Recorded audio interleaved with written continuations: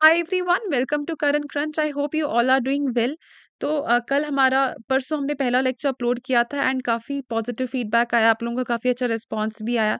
Messages भी आई students के calls भी कर रहे हैं कि मैम सिलेबस कब तक कंप्लीट होगा? आप करवाओगे या नहीं? तो गाइज़ मैंने ये स्टार्ट किया है। इनशाला मैं इसको फिनिश ज़रूर करूँगी। आपको क्या करना होगा? डोंट बी इन अ हरी कि मैम जल्दी करा दो जल्दी करा दो। ठीक है? क्योंकि जो गुड थिंग्स है ना good things take some time and जल्दी का काम शैतान का होता है just remember this forever आपको पैनिक करके कुछ भी नहीं करना है जब तक आपको बीच में दिन मिलते हैं लाइक like, कल मेरा लेक्चर नहीं आया था तो आपको कल पूरा दिन वेस्ट नहीं करना है सोच के कि लेक्चर क्यों नहीं आया? आपके पास बाकी पोर्शन ऑफ़ द सिलेबस भी है आपको वो कंप्लीट करना है। एंड मैं कोशिश करूँगी रेगुलरली लेक्चर अपलोड करूँ, पर जब नहीं भी आता है, तब आपको फोकस करना है रिविजन पे एमसीक्यूज पे एंड जो बाकी पार्ट ऑफ़ द सिलेबस है, वो कंप्लीट करने पे। अगर आप मेरे बाकी कोर्सेज में एनरोल करना चाहते हैं तो उसके लिए आपको करंट क्रंच ऐप डाउनलोड करनी होगी प्ले स्टोर से गूगल प्ले स्टोर से। एंड वहाँ से आप चेक कर सकते हैं, मेरा करंटली कौन कौन सा कोर्स ऑन एयर है। करंटली दिवाली सेल चल रही है सेकेंड नवंबर तक तो आपको लोवेस्ट प्राइस पे हर कोर्स अभी जो है, वो मिल जाएगा। अगर आप आईओएस यूज़र हैं तो आप नीचे जो डिस्क्रिप्शन में मेरी वेबसाइट दी हुई है उस वेबसाइट से जाके भी कोर्स परचेज कर सकते हैं। एंड जो आपका टेलीकॉम का सिलेबस है ये कम्प्लीटली फ्री ऑफ़ कॉस्ट रहने वाला है। अगर आपको इसकी टेस्ट सीरीज़ लेनी है तो उसके लिए आपको कहाँ जाना होगा? कारण क्रंच ऐप पे जाके परचेज करनी होगी ठीक है? तो अ, मैं काफ़ी खुश हूँ कि मेरा पहला वीडियो आप लोगों को बहुत पसंद आया क्योंकि आपका काफ़ी अच्छा फीडबैक मिला मुझे स्पेशली उन स्टूडेंट्स के लिए जो नॉन टेक्निकल बैकग्राउंड के हैं जिन्होंने ये सारी चीज़ें ज़्यादा नहीं पढ़ी हैं। एंड इनफैक्ट टेक्निकल बैकग्राउंड के भी हैं लेकिन फिर याद नहीं रहता इतना सारा सब कुछ पढ़ के भी ठीक है? तो विदाउट वेस्टिंग मच टाइम हम मॉड्यूलेशन स्टार्ट करते हैं। पहले डेफिनेशन देख लो। Modulation may be defined as a process by which any characteristic of a wave is varied as a function of the instantaneous value of another wave. ठीक है? ये इसकी definition है जो कि आई एम श्योर आपको कुछ समझ में नहीं आई होगी। तो इसको हम कैसे समझाएँगे एग्ज़ाम्पल से? आप सोचो कि फॉर एग्ज़ाम्पल आप रेडियो सुन रहे हो। रेडियो स्टेशन की एग्ज़ाम्पल लेते हैं। कश्मीर का काफ़ी कॉमन जो हम सबने सुना है 92.7 एफएम सुनो सुनाओ लाइव बनाओ। ठीक है? तो वहाँ से क्या हो रहा है? वो एक सॉन्ग ट्रांसमिट करते हैं।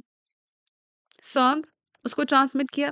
और आपके घर में जो रेडियो सेट्स हैं, उन पे आप वो सॉन्ग सुन रहे हो। आप वहाँ पे उस सॉन्ग को रिसीव कर रहे हो। फाइन उनका वहाँ से सॉन्ग भेजना और आपके रेडियो पे वो सॉन्ग सुनना, वहाँ पे रिसीव करना, उस बीच में काफ़ी चीज़ें हुई होंगी वो सॉन्ग आप तक पहुँचाने के लिए। अगर आप अरिजीत सिंह का सॉन्ग सुन रहे हो तो अरिजीत सिंह आपके घर आके तो नहीं गा रहा है ना? उसका सॉन्ग, अरिजीत सिंह का सॉन्ग वहाँ पे ट्रांसमिट हो रहा है, आपके रेडियो स्टेशन, रेडियो सेट्स में वो रिसीव हो रहा है। ये बिल्कुल नॉर्मल सी बात है, इसको ज़्यादा एक्सप्लेन करने की ज़रूरत नहीं है। अब एक सेकंड के लिए आप ये चीज़ भूल जाओ जो मैं बोल रही हूँ, भूल नहीं जाओ मतलब याद रखो, आप दूसरी चीज़ सुनो। अगर आपको कोई चीज़ डिलीवर करवानी हो, आपने डिलीवरी की किसी चीज़ की, आपने कोई चीज़ ऑर्डर किया, वो आपके घर, अब वो डिलीवर करने आएगा तो वो कैसे आएगा? या तो वो स्कूटर पे आएगा, या तो वो टेंपो में आएगा, ठीक है, किसी कार में आएगा सामान डिलीवर करने के लिए। अब यही एग्ज़ाम्पल आप यहाँ पे यूज़ करो। वो जो सॉन्ग वहाँ पे प्ले कर रहा है अरिजीत सिंह का, उसको आपके रेडियो सेट तक लेके आना है। तो हमारे पास कोई एजेंट होना चाहिए, वो सॉन्ग लेके आएगा। उस एजेंट को हम बोलते हैं कैरियर। वो होती है आपकी कैरियर वेव। ठीक है? वो कैरियर वेव क्या कर रही है? जो आपकी इंफॉर्मेशन आपका पास हो रहा है, उसको कैरी करवा के कहीं पहुँचा रही है। क्योंकि वो जो सॉन्ग है वो खुद से नहीं आ सकता मेरे रेडियो सेट तक। तो मुझे एक हाई फ्रीक्वेंसी वेव चाहिए जो उस सॉन्ग को लंबे लंबे डिस्टेंसेस तक लेके जाए। उस जो वेव ऐसा काम करती है, जो कैरी करवाएगी उस अरिजीत के गाने को एफएम स्टेशन से और मेरे रेडियो तक पहुंचाएगी, उसको हम बोलेंगे कैरियर वेव ठीक है? अब ये सारा प्रोसेस कैसे होता है और इसमें क्या चीज़ें होती हैं, ये हमें कैसे पता चलता है, ये हमें पता चलता है इसी नाम से जो यहाँ पे है मॉड्यूलेशन। तो होता क्या है मॉड्यूलेशन में, ये आप समझ गए कैरियर वेव का काम क्या है, एक मैसेज आप तक कैरी करवा के पहुंचाना, ठीक है? अब हमने डेफिनेशन में लिखा है कि मॉड्यूलेशन में be defined as a process by which any characteristic of a wave is varied as a function of an instantaneous value of another wave. अब हमें इस डेफिनेशन से इतना क्लियर होगा कि हमारे पास एक वेव है, जिसका कोई कैरेक्टरिस्टिक चेंज हो रहा है किसके रेस्पेक्ट में, दूसरे वेव के रेस्पेक्ट में। फाइन ये अब दो वेव्स हमारे पास हैं। तो यहाँ पे देख लो। First wave is normally a single high frequency wave जिसको हम कैरियर वेव बोलते हैं। एंड जो सेकेंड वेव की वैल्यू आप बोल रहे हो सेकेंड वेव के अकॉर्डिंग जो चेंज हो रही है हमारी कैरियर वेव उसको हम बोलते हैं जो हमारा नॉर्मल ऑडियो हमारा सॉन्ग है, ठीक है? तो वो हो गई हमारी मॉड्यूलेटिंग वेव अब हमारे पास दो वेव्स हैं। एक हमारे पास मॉड्यूलेटिंग वेव है, जो हमारा क्या है, अरिजीत का सॉन्ग मॉड्यूलेटिंग वेव एंड एक हमारे पास कैरियर वेव है। अब आप ये तो समझ गए ना मॉड्यूलेटिंग वेव क्या होता है? कैरियर वेव क्या होता है? कैरियर वेव जो उसको हमारे तक पहुंचाएगी एंड मॉड्यूलेटिंग वेव आपकी इन्फॉर्मेशन होती है। ठीक है? जैसे इस केस में मैंने ऑडियो की एग्ज़ाम्पल ली, एक सॉन्ग की एग्ज़ाम्पल ली। अब ये मॉड्यूलेटिंग वेव आप तक पहुँचती है with the help of carrier wave अब देखो ये जो मॉड्यूलेटिंग वेव है ना, अब आप इमेजिन करो, चलो अरिजीत नहीं, हम कोई सॉन्ग इमेजिन करते हैं, जो सॉन्ग पहले स्लो होगा, फिर बीच में उसमें हनी सिंह का रैप आएगा तो सॉन्ग बीच में फास्ट हो जाएगा, फिर फिर से उसमें अरिजीत की कुछ सैड लाइंस होंगी, वो सॉन्ग फिर से स्लो हो जाएगा। तो उसकी फ्रीक्वेंसी कुछ ऐसी होगी, फिर बीच में फास्ट हो जाएगी, फिर फिर से ऐसी होगी, फिर ऐसी ऐसी हो जाएगी, ठीक है? तो अब कहने का क्या मतलब है, जो कैरियर वेव है, देखो मैंने आपको पार्सल की एग्ज़ाम्पल दी थी। आपके घर एक पार्सल जो है, वो डिलीवर होता है। फॉर एग्ज़ाम्पल आप कोई बड़ी चीज़ ऑर्डर करते हो। जैसे कुछ टाइम पहले मैंने अपने बेटे के लिए स्कूटर ऑर्डर किया था ऑनलाइन, ठीक है? तो उसने मुझे बोला कि, मैम, हम स्कूटी पे यूजुअली आते हैं, आपका पार्सल टेंपो में आएगा, इसीलिए मैं वो जल्दी नहीं डिलीवर करवा सकता। दैट मीन्स जैसा प्रोडक्ट होगा, उसी अकॉर्डिंग का कैरियर होना चाहिए। अगर मैं स्कूटर ऑर्डर करवा रही हूँ, वो स्कूटी पे तो डिलीवरी बॉय लेके नहीं आएगा ना, उसके लिए टेंपो चाहिए। अब अगर हमारे पास ऐसा सॉन्ग है जो स्लो होगा, फिर बीच में रैप आएगा, फिर स्लो होगा, वो कैसी भी कैरियर वेव पे नहीं होगा ना? मोस्ट यूजुअली जो कैरियर वेव होती है स्टैंडर्ड वो उसका एक कांस्टेंट एम्पलीट्यूड एक स्टेडी स्टेबल एम्पलीट्यूड और स्टेबल फ्रीक्वेंसी होती है, वो ऐसी वेव होगी। लेकिन हमारे पास सॉन्ग ऐसा है फास्ट फिर स्लो फिर फास्ट ठीक है? अब हमें क्या करना है? इन दो को इस, ये जो सॉन्ग है मॉड्यूलेटिंग वेव इस सॉन्ग को किसमें डालना है? कैरियर वेव में? ताकि वो इसको कैरी करके हमारे रेडियो तक पहुँचाए लेकिन क्या ये कैरी करना पॉसिबल है? इसमें तो डिस्टॉर्शन आएँगी, क्योंकि इसकी फ्रीक्वेंसी अप डाउन हो रही है, लेकिन ये स्टेडी है। तो मॉड्यूलेशन क्या होता है? वो इस कैरियर वेव को मॉड्यूलेट करना दैट मीन्स उसकी फ्रीक्वेंसी को ऐसे चेंज करना कि जो हमें इंफॉर्मेशन भेजनी है, इनके बीच में आपस में सुपर इम्पोजिशन सही से हो जाए। सुपर इम्पोजिशन सही से हो जाए। अब देखो अगर ये एक चीज़ है और ये एक चीज़ है, ठीक है? आसपास वाला पहले इरेज करती हूँ। देखो आपके पास ये एक फ्रीक्वेंसी है, जहाँ पे मैंने सॉन्ग लिखा है और ये कैरियर वाली एक फ्रीक्वेंसी है, ठीक है? अब आपको रखनी है ये फ्रीक्वेंसी इसके ऊपर। तो ये यहाँ पे फास्ट है, फिर स्लो है, फिर फास्ट है, फिर स्लो है तो ये सुपर इम्पोजिशन पॉसिबल नहीं होगी ना? तो मॉड्यूलेशन में आप क्या करोगे? कैरियर फ्रीक्वेंसी को एज पर योर मैसेज जैसी उसकी फ्रीक्वेंसी हाई लो हो रही है कैरियर फ्रीक्वेंसी को वैसे ही चेंज करोगे। यही होता है मॉड्यूलेशन अब दोबारा से डेफिनेशन पढ़ो। आई एम श्योर अब समझ में आ गया होगा आपको कि क्या होता है, ताकि वो अच्छे से सुपर इम्पोज हो जाए। आप कैरियर वेव को मॉड्यूलेशन करके क्या करोगे? जो इन्फॉर्मेशन सिग्नल है या जो आपकी मॉड्यूलेटिंग वेव है, उसको अपने एड्रेस तक पहुँचा दोगे। ठीक है? तो मॉड्यूलेशन में be defined as a process by which any characteristic of a wave आप एनी को भी रहने दो by which characteristic of a wave is varied as a function of the instantaneous value of another wave. That means इस wave का characteristic जो है, वो चेंज हो रहा है। ये कौन सी वेव है? कैरियर वेव इसका कैरेक्टरिस्टिक चेंज हो रहा है as a function that means in accordance with the value of another wave जो हमारा यहाँ पे अरिजीत का गाना था। फाइन अब यहाँ पे एनी कैरेक्टरिस्टिक क्यों लिखा है? अब हमारे पास जो कैरियर वेव है, उसमें दो चीज़ें हैं। एक तो आपका एम्पलीट्यूड है एंड एक फ्रीक्वेंसी है। तो कैरियर वेव जो है स्टेडी कैरियर वेव हम उसको कुछ ऐसे ड्रॉ करते हैं मतलब इसका स्टेडी एम्पलीट्यूड एंड फ्रीक्वेंसी है। तो जो हमारा एफ़ एम मॉड्यूलेशन है, उसमें क्या करते हैं? फ्रीक्वेंसी को वैरी करते हैं। एम्पलीट्यूड कॉन्स्टेंट रखेंगे, फ्रीक्वेंसी चेंज करेंगे। एंड जो हमारा एम्पलीट्यूड मॉड्यूलेशन है, उसमें हम क्या करेंगे? फ्रीक्वेंसी को कांस्टेंट रखेंगे, एम्पलीट्यूड को वेरी करेंगे। Amplitude height. आप एम्पलीट्यूड के लिए एग्ज़ाम्पल मैंने आपको फ्रीक्वेंसी में कहा था, पिच याद रखो कितनी तेज़ी से कोई चीज़ हो रही है। एम्पलीट्यूड मान लो आप एक गुब्बारे में हवा भर रहे हो, आप फू कर रहे हो, गुब्बारा बड़ा बड़ा बड़ा होता जाएगा, वो आपका एम्पलीट्यूड बढ़ रहा है। ठीक है? तो ये हो गया एम्पलीट्यूड कम ज़्यादा करना एंड अब जब हम फ्रीक्वेंसी मॉड्यूलेशन की बात करते हैं, एफएम की बात, बिग 92.7 एफएम, जो एफएम है आपका, वो फ्रीक्वेंसी मॉड्यूलेशन है, उसका फुल फॉर्म फ्रीक्वेंसी मॉड्यूलेशन ही है। तो वो क्या कर रहे हैं एफएम वाले? वो एम को कांस्टेंट रखेंगे and according to the song according to the modulating wave और द इंफॉर्मेशन वो कैरियर वेव को मॉड्यूलेट करेंगे। ठीक है? ये आप समझ गए मॉड्यूलेट करना होता क्या है? एंड एएम में क्या होता है? फ्रीक्वेंसी कांस्टेंट रखेंगे and according to the modulating signal वो एम्पलीट्यूड को मॉड्यूलेट करेंगे। ये होता है मॉड्यूलेशन समझ में आ गया? आई एम श्योर कि जो इंजीनियरिंग बैकग्राउंड का नहीं भी होगा, वो भी काफ़ी अच्छे से समझेगा। एंड जब आपकी जॉब लग जाएगी, इंशाल्लाह आप वायरलेस ऑपरेटर बन जाओगे तो बेसिकली आपको यही सारी चीज़ें वहाँ पे प्रैक्टिकली करनी होंगी। तो मेहनत करो इसके लिए, ये अच्छी पोस्टिंग है। मतलब ये अच्छी जॉब है, इसका प्रोफ़ाइल भी अच्छा है। आपको या तो जैसे क्रीम पोजिशंस में होते हैं ये ऑफिसर ऑफिसर्स वगैरह एसएसबी ट्रैफ़िक हो गया या कोई और अच्छी जगह पे होते हैं तो वहाँ पे आप उनके साथ आपको एम्प्लॉय कर सकते हैं एज ए वायरलेस ऑपरेटर। आप ऑफ़िस में काम कर सकते हो एज वायरलेस ऑपरेटर्स या फॉर एग्जांपल कहीं पीएमसीएम का विज़िट है तो वहाँ पे वो एक स्टेशन लगाते हैं अपना वायरलेस का। ठीक है? तो वहाँ पे उनको आप लोगों की टेक्निकल लोग जिनको इस चीज़ की परख और ज़रूरत पड़ती है तो वहाँ पे जाके आपको काम करना पड़ सकता है। तो यूजुअली ऑफ़िस रिलेटेड काम होता है एंड ये थोड़ा ज़्यादा अच्छा माना जाता है। फाइन तो आप समझ गए एम्पलीट्यूड क्या होता है? तो यहाँ से आपको क्लियर होगा सिलेबस में आपने कैरियर वेव देखा होगा मॉडुलेटिंग वेव भी एग्ज़ाम में आ सकता है मॉडुलेटिंग वेव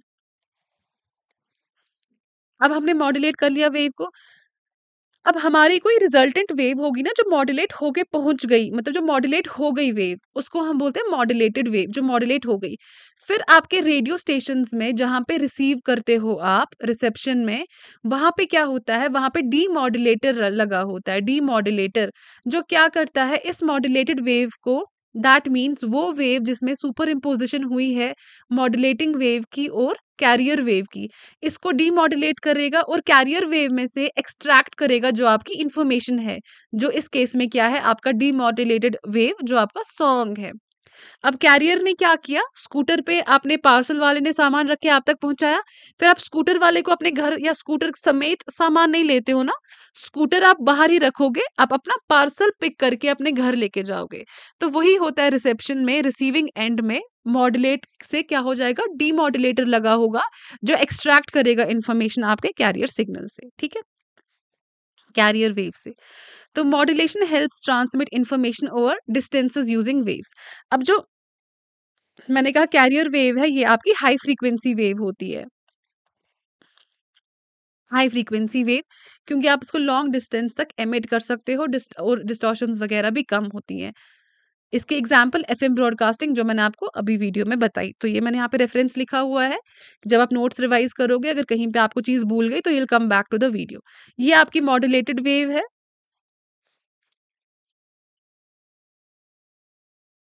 आप इसको इंफॉर्मेशन वेव भी बोल सकते हैं। एंड ये आपकी कैरियर वेव है, ठीक है? कैरियर वेव है। एंड आपकी जो एम्पलीट्यूड मॉड्यूलेटेड वेव है, इसमें देखो फ्रीक्वेंसी सेम ही है।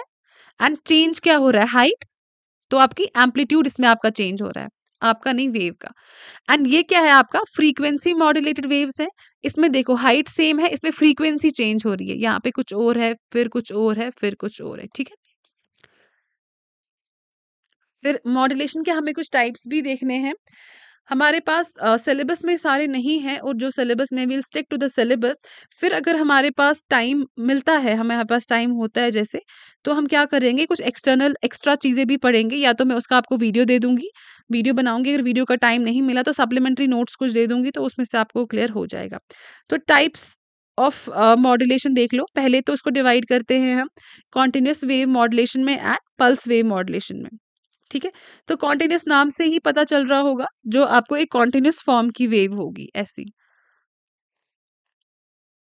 पल्स वेव को हम ऐसे रिप्रेजेंट करते हैं। ठीक है? ये ऐसे कम ज़्यादा होगा।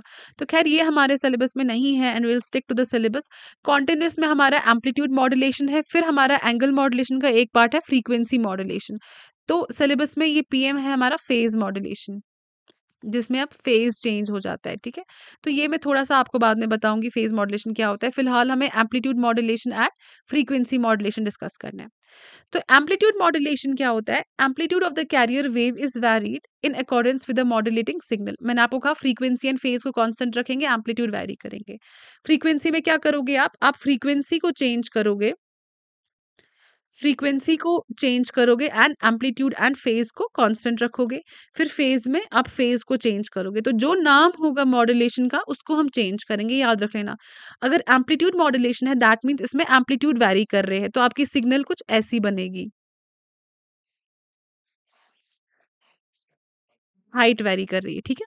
एंड जहाँ पे हम फ्रीक्वेंसी की बात कर रहे हैं तो आपकी सिग्नल कुछ ऐसी बनेगी। इसमें हाइट सेम है, आप क्या वैरी करवा रहे हो? ये आपका फ्रीक्वेंसी। फिर हो गया एम्पलीट्यूड मॉड्यूलेशन इसकी example medium wave A M radio broadcasting. एक तो हमने एफ़ एम सुने हैं, फ्रीक्वेंसी मॉड्यूलेशन और एफ़ एम आने से पहले हम क्या सुनते थे? आपने आकाशवाणी सुना होगा, ऑल इंडिया रेडियो सुना है। ये आकाशवाणी है और आप सुन रहे हैं ये खबरें एक अशरिया दो मेगाहर्ट्ज पर। यू रिमेंबर तो वो ऐसे करके बोलते थे। तो ये कौन सा है बेसिकली ये कौन से टाइप की ब्रॉडकास्टिंग है? इसमें सिर्फ़ एम्पलीट्यूड चेंज हो रहा है ना? इसमें जब वो ऐसे बोलती है, ये आकाशवाणी है। तो डू यू एक्सपेक्ट कि वो आकाशवाणी के बाद रैप करना स्टार्ट कर दे और काफ़ी हाई पिच हो जाए फ्रीक्वेंसी सारी चेंज हो जाए? नहीं। तो उनकी फ्रीक्वेंसी जो है, वो उसी एक सिमिट्री में रहती है और उनका जो एम्पलीट्यूड है दैट मीन जो लाउडनेस ऑफ़ द वॉइस है, वो बढ़ सकती है। तो उसको हम बोलते हैं A M that is amplitude modulation ठीक है? तो here the power voltage level of the information signal changes the amplitude of the carrier तो इसमें हम क्या चेंज करवा रहे हैं? एम्पलीट्यूड ऑफ़ द कैरियर ठीक है? तो ए एम वेव में the waves height changes depending upon the information being sent तो अकॉर्डिंगली जैसे जितना लाउड बोलोगे, उतना आपको एम्पलीट्यूड हाई करना होगा सिग्नल का। जितना वो स्लो बोलेंगे एम्पलीट्यूड को रिड्यूस करना होगा। लेकिन आपकी जो फ्रीक्वेंसी है, वो वैसी ही रहेगी। तो वो ऐसे ही बात कर सकते हैं। वो बीच में ऐसा कोई अपना, उसमें वो तड़का नहीं डाल सकते कि अपना बीच में वो तेज तेज बोलना स्टार्ट कर दें या कुछ भी। ठीक है? क्योंकि वो फिर डिस्टॉर्शंस देगा आपको। आप सिर्फ़ एम्पलीट्यूड वैरी करवा रहे हो। तो उनके भी दिमाग में होगा कि फ्रीक्वेंसी हमें सेम ही रखनी है। तो AM में the message is carried through the height variation of the wave ये समझ में आ गए? तो मैसेज कहाँ से होगी? हाइट वेरिएशन अब इसमें आपको एक चीज़ याद रखनी है कि जो कैरियर वेव है ना कैरियर वेव वो खुद से दरअसल चेंज नहीं हो रही। ठीक है? अब वो जो वेरिएशंस है, वो कैसे आ रही हैं? वो वेरिएशंस आ रही हैं the extra signal parts around it make it look like the carrier's height is fluctuating. जो कैरियर है एक्चुअली वो स्टे स्टेडी लेकिन जब वो कैरियर ऐसे आ रही है ना, ऐसे ऐसे ऐसे ऐसे बेसिकली क्या हो रहा है? कैरियर वेव चेंज नहीं हो रही है। वो एक एक्स्ट्रा सिग्नल पार्ट हम ऐड करते हैं। कैरियर वेव के इर्द गिर्द जिनमें इंफॉर्मेशन होती है, उसको हम बोलते हैं साइड बैंड्स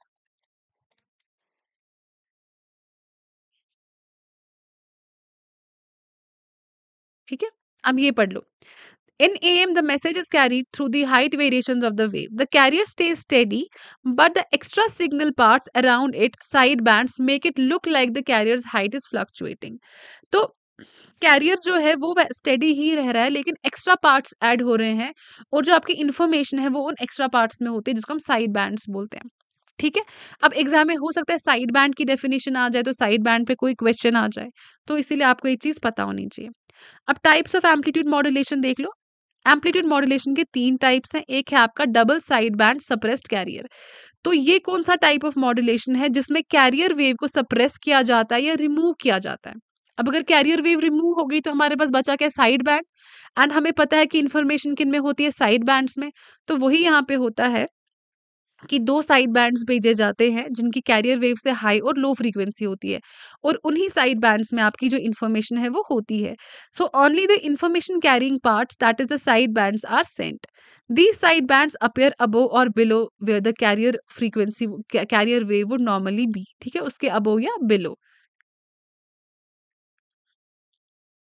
ये थिंक हाँ ये रिपीट हो गया। तो ये होता है आपका double side band suppress carrier दूसरा पार्ट है हमारा सिंगल साइड बैंड इसमें क्या होता है? Transmission of only one side band इधर टॉप और हाफ़ तो मैंने कहा यहाँ पे दो साइड बैंड हम भेजते हैं, जिसकी फ्रीक्वेंसी कम ज़्यादा कैरियर से होती है. एंड एक होता है आपका, जिसमें सिर्फ़ हम क्या करते हैं? We send only one side band इधर हाई और लो ठीक है?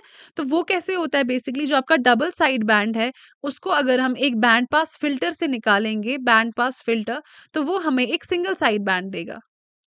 Single side band. तो यहाँ पे देख लो, since only one side band is sent, less power is used. तो ये भी हमारे लिए अच्छा रहेगा, क्योंकि इसमें लेस पावर यूज़ होगा, जब हमें सिंगल साइड बैंड भेजना होगा। लेकिन लॉन्ग डिस्टेंस कम्युनिकेशन के लिए ज़्यादा नहीं यूज़ होगा, आपके शॉर्ट कम्युनिकेशन जो है, या शॉर्ट लोकेशन वाली कम्युनिकेशन जो है, उनके लिए बेटर यूज़ होगा। फिर होता है आपका वेस्टिजियल साइड बैंड इसमें क्या होता है, एक साइड बैंड जो है वो पूरा होगा और एक साइड बैंड का आधा हिस्सा होगा। तो इसमें क्या होता है, आप इन्फॉर्मेशन ज़्यादा भेज सकते हो, क्योंकि ऑब्वियसली आपके पास दोनों साइड बैंड्स के पार्ट्स हैं। दोनों साइड बैंड्स, लेकिन जो दूसरा साइड बैंड है, वो फुल साइज़ का नहीं है, वो हाफ़ साइज़ का है। दैट मीन्स इसमें नॉइज़ रिडक्शन जो है, वो कम हो जाएगी, डिस्टॉर्शन कम हो जाएगी। अब देखो, डबल साइड बैंड में क्या होता है, आप ज़्यादा डेटा भेजते हो डबल साइड बैंड में, लेकिन इन्फॉर्मेशन जो है, वो ज़्यादा होती है। फिर सिंगल साइड बैंड में आप एक ही बैंड भेजते हो इन्फॉर्मेशन कम होगी, लेकिन डिस्टॉर्शन जो है वो बहुत कम होगी। फिर वेस्टिजल साइड बैंड में आप डेढ़ one and half side band मान लो, एक फुल साइड बैंड और एक हाफ़ तो इसमें इन्फॉर्मेशन ज़्यादा होगी, लेकिन डिस्टॉर्शन जो है वो सिंगल साइड बैंड से थोड़ा कम होगी, ठीक है? तो इसमें क्या होता है? डिस्टॉर्शन इज़ रिड्यूस्ड इंपॉर्टेंट देख लो the V S B signal has a bandwidth that is half way between S S B and D S B तो इसका जो बैंड विथ है वो इससे कम होगा, लेकिन इससे ज़्यादा होगा। बैंडविड्थ हम किसको बोलते हैं? आपके पास कितनी जगह है इंफॉर्मेशन सेंड करने के लिए? फॉर एग्ज़ाम्पल आप नेशनल हाईवे पे हो, वाइड हाईवे पे, वहाँ पे छह लेन्स हैं। One one, two, three, four, five, six. That mean six lanes में से आप कार्स पास कर सकते हो। तो इसका बैंडविड्थ इतना है। फिर आप किसी दूसरे नैरो हाईवे पे जाओगे जहाँ पे तीन ही लेन्स है। दैट मीन्स इसका बैंडविड्थ इतना है, वो तीन ही लेन्स में कार्स पास कर सकता है। तो जो वीएसबी है, इसका बैंडविड्थ जो है, वो हाफ़ वे है between S S B and आपका single side band and double side band ठीक है? तो ये हो गया आपके तीन टाइप्स किसके? ए एम मॉडुलेशन के ए एम मॉडुलेशन भी क्लियर हो गया। अब हम देखते हैं टाइप्स ऑफ़ फ्रीक्वेंसी मॉड्यूलेशन तो फ्रीक्वेंसी मॉड्यूलेशन और एएम में क्या डिफरेंस है? जो एएम मॉड्यूलेशन है एम्पलीट्यूड मॉड्यूलेशन उसमें हमने दो साइड बैंड्स पढ़े, लेकिन फ्रीक्वेंसी मॉड्यूलेशन जो है it generates infinite number of side bands resulting in an infinite bandwidth तो बैंडविड्थ का चक्कर का अगर कोई एमसीक्यू आएगा you should be able to answer अब मैंने आपको बताया, इसमें इनफाइनाइट होगा क्योंकि हमारे पास इनफाइनाइट साइड बैंड्स है। आप कंसिडर करो। एएम में हमारे पास दो कार्स हैं तो दो कार्स के लिए हमें जगह बनानी है और एफएम में हमारे पास एन नंबर ऑफ़ कार्स आती हैं इनफाइनाइट कार्स आती हैं तो उसके लिए आप इनफाइनाइट लंबा रोड बनाओगे कि सारी कार्स एडजस्ट हो जाएँ, ठीक है? अब ये क्यों आता है, क्यों इसमें इनफाइनाइट वो है? देखो, पढ़ाने को मैं आपको सारी चीज़ें बहुत ही डेप्थ में पढ़ा सकती हूँ, लेकिन I am sticking to the type of exam that you are going to appear for आप इंजीनियरिंग का एग्ज़ाम नहीं दे रहे हो, आप वायरलेस ऑपरेटर के लिए एग्ज़ाम है, ठीक है? तो जैसे उसके टाइप्स पढ़े इसके दो टाइप्स हैं narrow band F M and wide band F M narrow band जिसमें नैरो बैंड विड्थ की ज़रूरत पड़ती है एंड वाइड बैंड ऑब्वियसली नाम से क्लियर वाइडर बैंड विड्थ के लिए। इसकी लोअर नॉइस है सेंसिटिविटी अच्छी है एंड शॉर्ट डिस्टेंस कम्युनिकेशन के लिए यूज़ होगा। ये यूज़ होगा लॉन्ग डिस्टेंस कम्युनिकेशन के लिए, जैसे आपके एफ़ एम स्टेशन वगैरह, उनका ब्रॉडकास्टिंग तो ये हो गया। इसके बाद हमें नेक्स्ट देखना है मॉड्यूलेशन इंडेक्स ठीक है? तो देखते हैं हमारा कितना पोर्शन जो है यहाँ पे कवर हो जाएगा। आज हम मॉड्यूलेशन इंडेक्स तक पढ़ते हैं फिर हम स्टॉप करेंगे। और uh, जो बाकी चीज़ें हैं होपफुली नेक्स्ट एक दो लेक्चर्स में हमारा वो पोर्शन हो जाएगा। रेडियो वेव प्रोपोगेशन हमने स्टार्ट किया होगा। फिर अगर आप अपना यूनिट थर्ड देखोगे वो भी रेडियो वेव प्रोपोगेशन से ही रिलेटेड है। तो आई एम अज्यूमिंग कि फ़र्स्ट यूनिट के बाद हम अपना थर्ड यूनिट जो है वो स्टार्ट करेंगे। एंड अगर इसमें कोई भी इन्फॉर्मेशन होगी आपके लिए जो मुझे लगेगा कोई फैक्चुअल चीज़ें एक दो जो आपको पता होनी चाहिए तो वो कहीं ना कहीं मैं पीडीएफ में आपको एक्स्ट्रा पीडीएफ उसका ऐसे बना के दे दूँगी। ठीक है? तो मॉड्यूलेशन इंडेक्स इसको हम म्यू से रिप्रेजेंट करते हैं, ये किसका है? एम्पलीट्यूड मॉड्यूलेशन का। मॉड्यूलेशन इंडेक्स क्या होता है? How much the carrier wave is being modified by the signal तो कैरियर वेव को आप किस हद तक चेंज करते हो? किस एक्सटेंट तक चेंज करते हो? That is your modulation index तो अगर एम वेव की बात करें कैरियर वेव का एम्पलीट्यूड आप किस हद तक चेंज करते हो? That would be the modulation index for A M wave and carrier wave की फ्रीक्वेंसी को किस हद तक आप चेंज करते हो? That would be the modulation index for आपका फ्रीक्वेंसी मॉड्यूलेशन ठीक है? इसको हम एम्पलीट्यूड मॉड्यूलेशन के लिए कैसे आ, क्या आ, जो है कैलकुलेट करते हैं? Calculate as a ratio of amplitude of the information signal to the to the amplitude of the carrier wave ठीक है? अब हम ये जो हमारा मॉडलेशन इंडेक्स है इसको कम रखते हैं। क्यों? क्योंकि अगर हम इसको वन से ज़्यादा रखेंगे हमारे पास ओवर मॉड्यूलेशन हो जाएगी। दैट मीन्स आपकी जो वेव है जो मॉड्यूलेटिंग सिग्नल है आपका वो स्ट्रॉन्गर होगा देन द कैरियर वेव तो कैरियर वेव वो बाहर बर्दाश्त नहीं कर पाएगी, उस पर एक्स्ट्रा लोड पड़ेगा एंड आपको रिज़ल्ट में एक डिस्टॉर्शन वेव मिलेगी, ठीक है? तो इसीलिए इसकी जो वैल्यू है वो हम रखते हैं less than equal to one in F M it measures how much frequency of the carrier wave changes due to the information signal ठीक है? कितनी फ्रीक्वेंसी किस हद तक चेंज होगी? ये फॉर्मूला इसको रिप्रेजेंट करते हैं del F that is a frequency deviation by frequency of the modulating wave इतना इसको रिप्रेजेंट करते हैं। अगर हम इसको भी वन से ज़्यादा रखेंगे जो मॉडलेशन इंडेक्स है एफ़ एम में उसमें भी इशू आ जाएँगे लेकिन इतने नहीं जितने हमें ए एम में आते हैं। फाइन तो हम थोड़ा इसका डिफरेंस देख लेते हैं। ये चेंज करता है amplitude of the carrier wave ये चेंज करता है फ्रीक्वेंसी ये इसकी फॉर्मूला है ये फ्रीक्वेंसी uh, की फॉर्मूला है। इसको हम रिप्रेजेंट करते हैं बीटा से इसको हम रिप्रेजेंट करते हैं ऐसा यू इसको म्यू बोलते हैं। ठीक है? इसकी रेंज होती है less than equal to five ये it can be greater than one also तो यहाँ पे आपका मॉडुलेशन इंडेक्स खत्म हो गया एफ़ एम मॉडुलेशन खत्म हो गया ए एम मॉडुलेशन खत्म हो गया, ठीक है? एंड आपका, अब हमें नेक्स्ट मॉडुलेटर वगैरह पढ़ना है तो कॉन्सेप्ट्स आपके क्लियर है। अब मैं आपको मॉड्यूलेटर क्या होता है, वो आपको समझ में आ जाएगा मेरे एक ही बार बोलने से। हम, मैंने कहा कैरियर वेव को हम फ्रीक्वेंसी चेंज करते हैं एम्पलीट्यूड चेंज करते हैं। तो वो हम कैसे चेंज करते हैं, वो हम मॉड्यूलेटर से चेंज करते हैं, ठीक है? अब फिर हमें आगे क्या पढ़ना होगा? मॉड्यूलेटर की थोड़ा टाइप्स वगैरह देखेंगे and we'll wind up this unit उसके बाद हम यूनिट थर्ड जो है, वो वहाँ से कंटिन्यू करेंगे। तो I hope you like this lecture तो give it a thumbs up अगर आपको लेक्चर अच्छा लगता है। अगर नहीं लगता है can always dislike you have the dislike option लेकिन कमेंट्स में ज़रूर बताना कि आपको पसंद क्यों नहीं आया। ठीक है? आई एम होप कि कोई डिसलाइक नहीं करेगा। आपको इंशाल्लाह ये पसंद आएगा ही। तो आपको क्या करना है? You have to like share and subscribe this video subscribe to this channel and इसको ज़्यादा से ज़्यादा शेयर करें ताकि टीचर uh, भी मोटिवेट होता रहे आपके लिए ऐसे वीडियोज़ लाने के लिए। अगर आपको इस कोई कोर्स परचेज करना है, टेस्ट सीरीज़ परचेज करनी है तो you know where you have to land. Current crunch app जो है, वो आप डाउनलोड करोगे। कोई भी इशू होगा तो दिस इज़ माई नंबर, आप मुझे व्हाट्सएप कर सकते हो। फाइन। तो till the time you get a new video bye take care, have a great day.